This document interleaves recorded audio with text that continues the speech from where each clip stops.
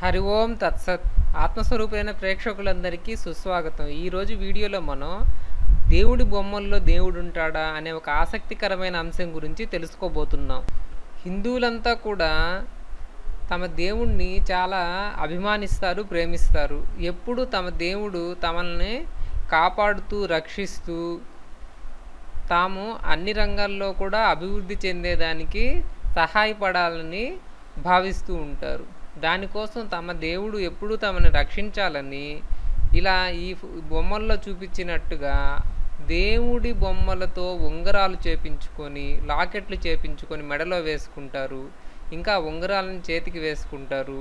ఇంకా ఈ మధ్య కొంతమంది ఒక అడుగు ముందుకు వేసి దేవుడి బొమ్మల్ని టైల్స్ మీద పెయింటింగ్లుగా వేసుకొని ఆ దేవుడి బొమ్మల్ని బయట ప్రహరీ గోడ గుమ్మానికి దిష్టి బొమ్మల్లాగా పెట్టుకుంటూ ఉన్నారు. ఎందుకంటే అక్కడ దేవుడు ఉండి తమ ఇంటిని కాపాడుతూ ఉంటాడని వాళ్ళ నమ్మకం.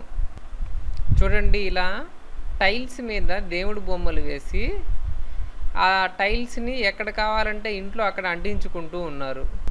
ఇంకా ఫోన్ వాల్పేపర్లలో కూడా దేవుడి బొమ్మలే పెట్టుకుంటూ ఉన్నారు. మీరు బహుశా ఇప్పుడు ఈ చూసే బొమ్మలన్నీ కూడా వేసింది రాజా రవివర్మ అనేటువంటి ఒక ప్రముఖ చిత్రకారుడు.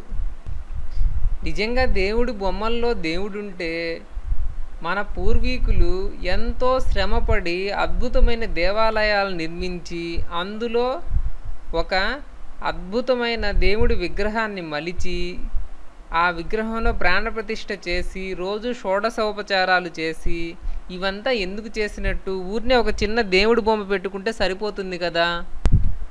దీనికి సమాధానం కాస్త కఠినంగా ఉన్న చెప్పాల్సిందే. ఏమిటంటే మనం ఒక పెన్ను పెన్ ఒక పెన్సిల్ ఒక పేపర్ తీసుకొని దేవుడి బొమ్మ గీసేసి ఆ దేవుడి బొమ్మలో దేవుడున్నాని దండం పెట్టడం అనేది ఒక అవివేకమైన పని. మనం మన ఇష్టం వచ్చినట్టుగా గీసిన దేవుడి బొమ్మలో దేవుడు ఉండడు. నిజంగా అలా ఉంటే ఇంత కష్టపడి దేవాలయం కట్టించాల్సిన అవసరం ఏమిటి? లేదు కదా. మీరు దేవాలయ నిర్మాణం ఎలా చేయాలి? దేవుడి విగ్రహంలోకి దేవుడి యొక్క ప్రాణాన్ని ఎలా తీసుకురావాలి? అని చెప్పేటువంటి ఆగమ శాస్త్రాన్ని కనుక పరిశీలించినట్టయితే మీకు చాలా ఆశ్చర్యకరమైన విషయాలు తెలుస్తాయి. దైవశక్తి చాలా అద్భుతమైనది. ఆ దైవశక్తి మన ఊరిని ఒక బొమ్మ గీసేస్తే ఆ బొమ్మలోకి వచ్చేసి లేదంటే మనం బంగారంతోనో వెండితోనో ఒక బొమ్మ చేపించుకుంటే ఆ బొమ్మలోకి వచ్చేసి ఆ బొమ్మలో ఆ దైవశక్తి ఉండి మన కోరికలు నెరవేరుస్తూ ఉండదు.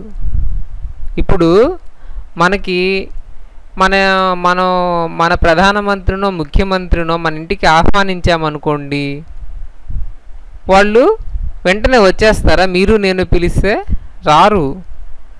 వాళ్ళకి మనకి మధ్యలో ఎవరో ఒక మీడియేటర్ వాళ్ళు బాగా పరిచయం ఉండే వాళ్ళు పిలిస్తే వస్తారు.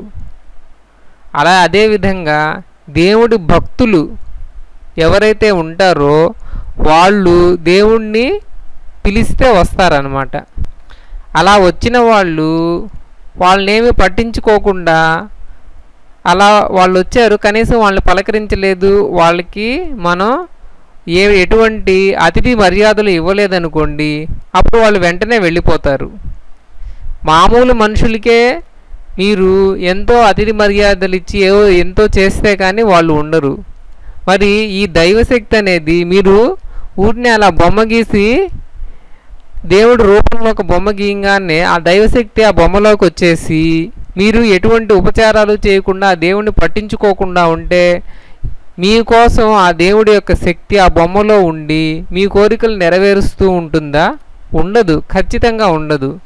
అందుకనే దేవాలయంలో ఎంతో శ్రమపడి ఎటువంటి దోషాలు లేనటువంటి ఉత్తమమైన శిలను ఎంచుకుంటారు. ఆ శిలని దేవుడి రూపంలో మలుస్తారు.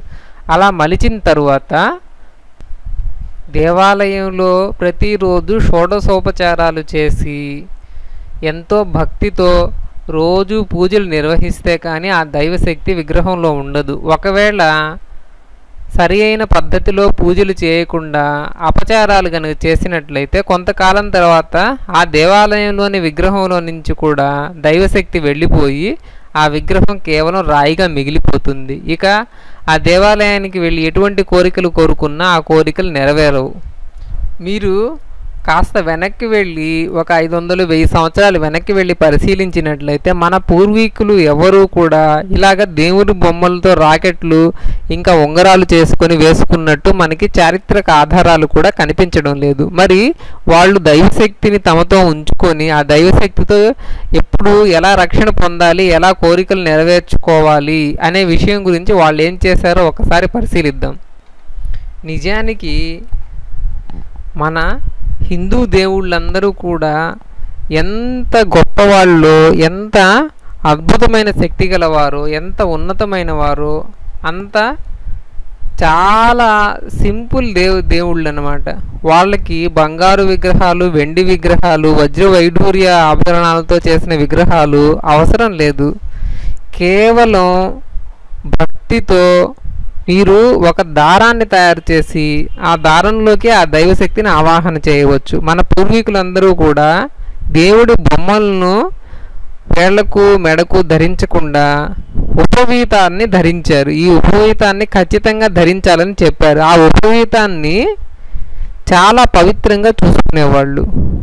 ఈ ఉపవీతంలోనే ఆ దైవశక్తిని ఆవాహన చేసేవాళ్ళు.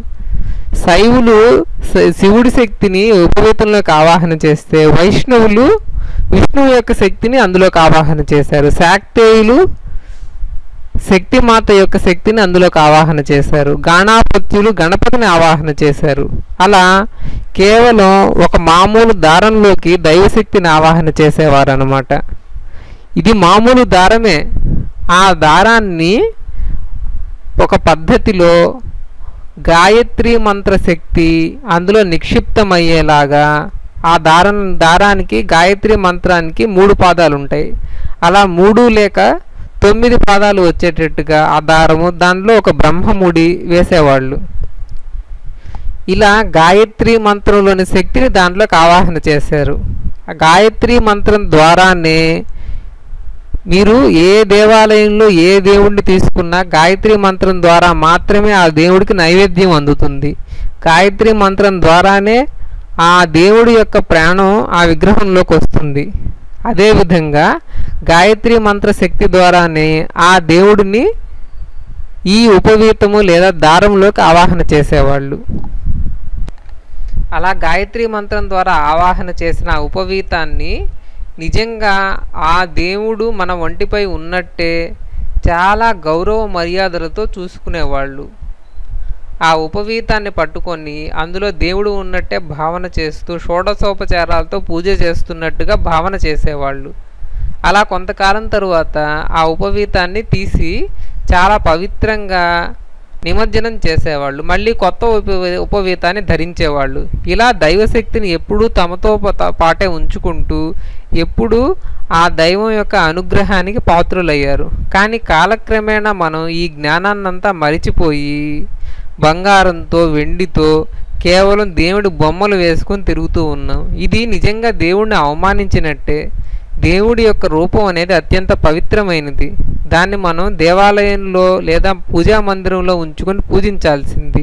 ఇలా టైల్స్ మీద ఇంకా ఉంగరాల్లో దేవుడు బొమ్మలు వేసుకొని మనం తిరగడం అనేది దేవుడిని అవమానించినట్టే. ఇంకా ఈ విషయం గురించి మరో కొంత మరొక వీడియోలో ఇంకా తెలుసుకుందాం. హరి ఓం తత్సత్.